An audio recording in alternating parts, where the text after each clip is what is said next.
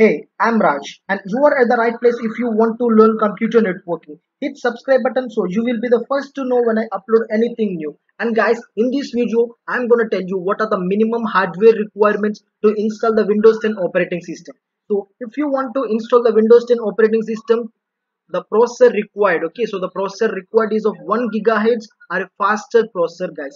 And when it comes with the RAM, okay so if you want to install 32-bit operating system the ram required is of 1 gb and if you want to install the 64-bit operating system the ram required is of 2 gb and when it comes with the hard disk space so if you want to install the 32-bit operating system the hard disk space required is of 16 gb guys. And if you want to go with the 64-bit operating system the hard disk space required is of 20 gb guys. So these are all the minimum requirements to install Windows 10 operating system on your PC guys. Thank you. Thank you for watching this video. My name is Raj and for any queries you can get back to me at raj823 sh472 at gmail.com. Thank you guys. Thank you for watching this video and please do subscribe this channel and don't forget to like this video.